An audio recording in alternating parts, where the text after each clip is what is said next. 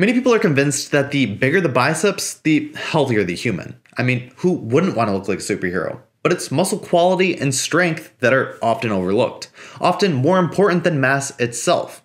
And it may be that too much mass is a negative thing. Why is muscle vital for overall health? How does its quality decline with age? And what's the optimal amount for lifelong health?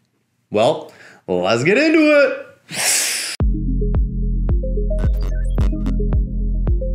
Muscle is more than an attractive aesthetic. It makes everyday living better. It's easier for me to shovel the driveway, mow the lawn, carry in groceries, or garden than it is for my grandma. An adequate strength allows me to maintain proper posture throughout, thus decreasing injuries, aches, and pains that build up over the years, thus increasing the longevity of my higher quality of life.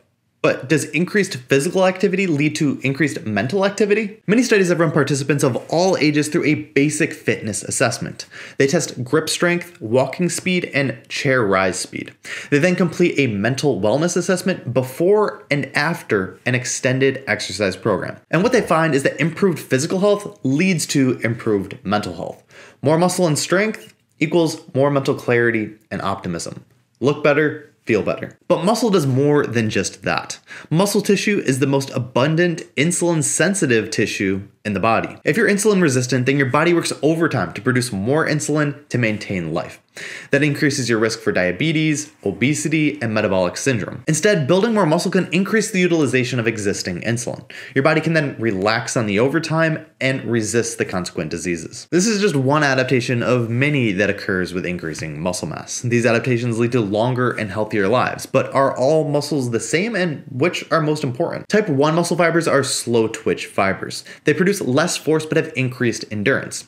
Aerobic activities like walking, biking, and cycling utilize more of these type 1 muscle fibers. Type 2 are the opposite. These fast twitch fibers produce a lot more force but tire quickly.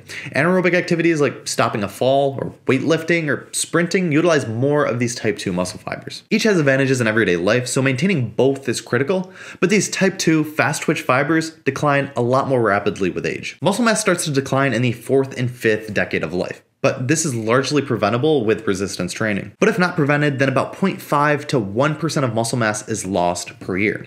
This progressive loss of muscle mass is the start, the first stage of sarcopenia. Surprisingly, muscle strength is lost at an even faster rate of 1 to 3% per year. This loss in muscular strength is the second stage of sarcopenia. And finally, muscle power is lost at the fastest rate of 3 to 5% per year. This decline in physical performance is the third stage of severe sarcopenia. This suggests that muscle strength and power are equally, if not more important than the mass itself. But how do we measure our muscle mass and what's the optimal amount? As I mentioned before, DEXA scans are the gold standard for measuring body composition. They break up the body into three compartments fat, bone, and fat free mass. So, fat free mass includes so fat-free mass is mostly muscle, but it also includes organs, blood, and connective tissues. If we just use fat-free mass to gauge muscle mass, then there's going to be some interference from those extra tissues. Luckily, DEXA scans can measure fat, bone, and fat-free mass on the legs and arms specifically.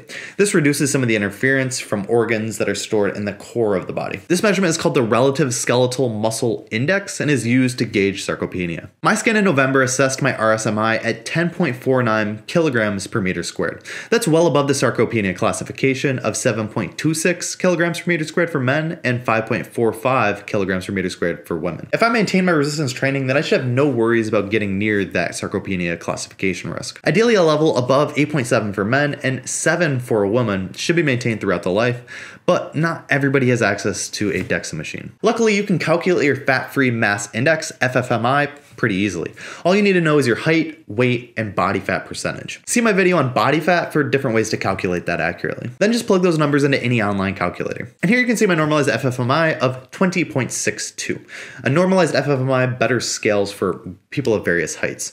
So ideally, men should aim for an FFMI above 19 and a woman 16.5. This amount of muscle mass maintained over your lifespan will lead to measurable improvements in how you look, feel, and function. But can you have too much muscle? A male FFMI above 25 or a woman above 22 is suggestive of steroid use when body fat is low. It's not easy to get to these levels naturally or without being overweight. Even levels above 22 for a male or 19 for a female may be too much.